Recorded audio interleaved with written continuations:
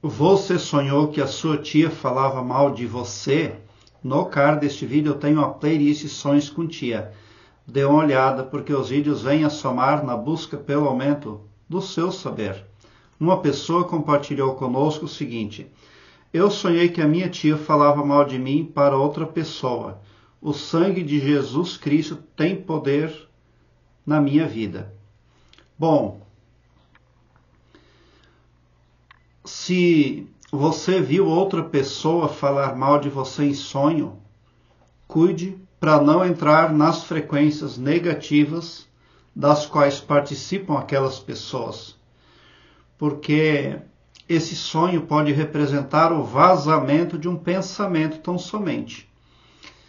A sua tia pode ter simplesmente pensado aquilo que você viu no seu sonho, porque o pensamento do ser humano não é secreto. É assim que funciona.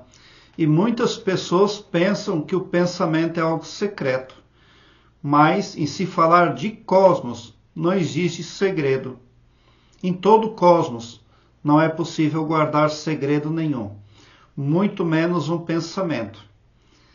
Bom, mas vamos ver primeiramente o que que fala a Bíblia sobre falar mal dos outros. Em Eclesiastes, no capítulo 7, no versículo 21, diz o seguinte: Não fique escutando tudo o que os outros dizem, pois poderá ouvir o seu empregado falar mal de você. E você sabe muito bem que muitas vezes você mesmo tem falado mal dos outros.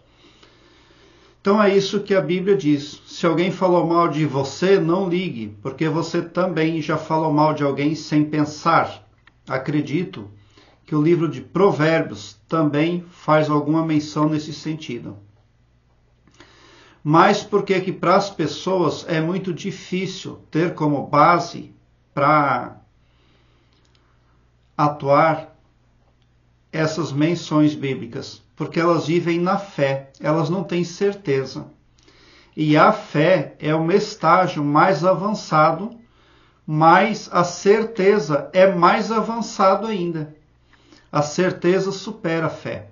A partir do momento que você tem certeza de que algo divino transcreveu esses versículos, a partir do momento que você tem essa convicção isenta de dúvida, então você já pode dispensar a fé e agir na certeza de que o bom, o bem e o belo vai advir para você a partir das frequências positivas das quais você desfruta, calando-se. Porque lá no mental quando nós trazemos alguém para o nosso mental, nós precisamos ser abençoativos. Porque o pensamento do humano é magnético. A imaginação é um poder que mais cedo ou mais tarde ela se torna realidade. E a falácia, ela transmuta eventos. Jesus Cristo disse: Nem só de pão vive o homem, mas de cada palavra que sai da sua boca. E a falácia mental ela é tão poderosa quanto a falácia verbal. Por isso, seja muito abençoativo lá no seu mental com as outras pessoas, mesmo com aquelas que falam mal de você. Porque o grau de consciência que elas têm ainda é precário.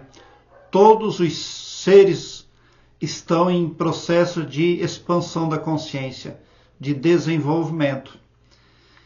E quando você atua obedecendo a Eclesiastes 7:21, você realmente prova que em grau de expansão de consciência você está superando aquelas pessoas que falam mal de você, que desaprovam você sob algum aspecto. Prezado internauta, eu quero que você alargue um belo sorriso no seu rosto, porque quando você vem para o meu canal, seu pavilhão mental vai clareando mais e mais à medida que você se permite ser iluminado, porque o escopo espiritual do meu trabalho aqui no YouTube prospecta bem para todos, indistintamente, o amor cristão. e não o Todo-Poderoso só para um ou só para mim ou só para um grupo de pessoas. Tão somente por esse poder de empatia cristã divina você sai sim do meu canal. Poderoso, preparado como um cavalo de corrida para vencer, pode ter certeza. Obrigado por seu like, se inscreva no meu canal e ative o sininho para me seguir, porque quem me segue, segue o bem. E bote um sorriso largo no seu rosto, porque se você chegou no meu canal, prova que você, vocês são sim os sonhadores mais amados da Via Láctea, porque o meu trabalho eu faço sempre com muito, muito amor. Muita gratidão por assistir aos meus vídeos.